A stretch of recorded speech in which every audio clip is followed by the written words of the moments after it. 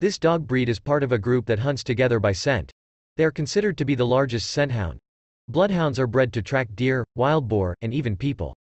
It can hunt down its prey using its sense of smell. They can sniff out even the slightest hint of a trail. They do not directly kill wild animals, but these dogs partake in finding the animal's cold scent. However, they seem to be low when functioning as a watchdog or guard.